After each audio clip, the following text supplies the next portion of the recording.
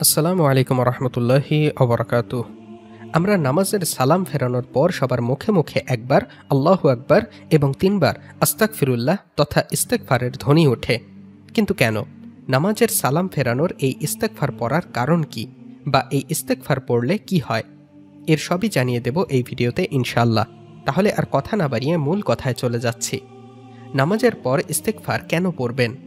এর প্রথম উত্তর হলো, এটি প্রিয় নবী সাল্লাহ আলিয়াল্লামের অন্যতম একটি আমল। হাদিসে এসেছে রসুল্লাহ সাল্লাহ আলিয়াল্লাম যখন নামাজের সালাম ফেরাতেন, তখন সর্বপ্রথম যে শব্দ তার পবিত্র জমাত থেকে বের হতো, তা হলো আস্তাক ফিরুল্লাহ আস্তাক ফিরুল্লাহ আস্তাক ফিরুল্লাহ চিন্তা করার বিষয় হলো, কেন তিনবার আস্তাক ফের পড়তেন?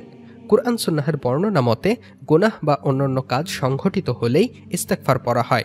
আর নামাজ তো হল ইমানের পর ইবাদতের মধ্যে সর্বশ্রেষ্ঠ ইবাদত। নামাজের পুরোটাই তো সওয়াব আর সওয়াব। তবে নামাজ শেষে কেন ইস্তেকফার ইসলাম অর হামারি জিন্দেগি গ্রন্থে এসেছে ইস্তেকফার এজন্য করা হয়েছে যে, নামাজ যেভাবে হক আদায় করে পড়ার কথা, সেভাবে হক আদায় করে নামাজ পড়া হয়নি।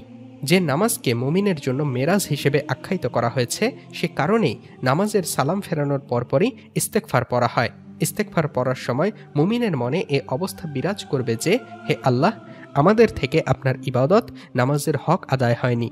না জানি কত ভুল, কত বিচ্যুতি এই নামাজে সংঘটিত হয়েছে।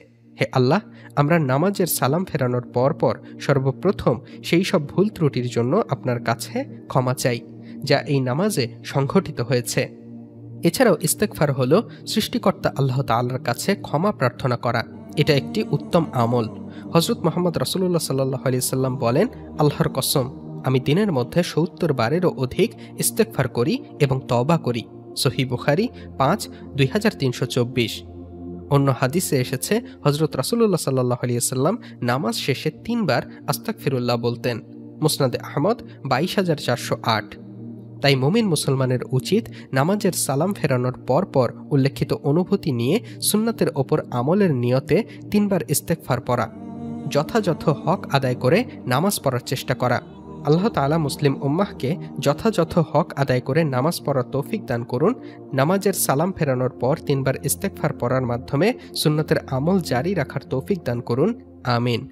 প্রিয় আলোর পথের যাত্রীর ভাই ও বোনেরা, পবিত্র কোরআনে নামাজ পড়ার কথা কতবার উল্লেখ আছে? জানিয়ে দিন আমাদের কমেন্ট বক্সে ভিডিওটি ভালো লাগলে একটি লাইক দিন ও যত পারেন শেয়ার করে ছড়িয়ে দিন এই ইসলামের বাণী। সকলের সুস্থতা কামনা করে আজকের ভিডিও এখানেই শেষ করছি।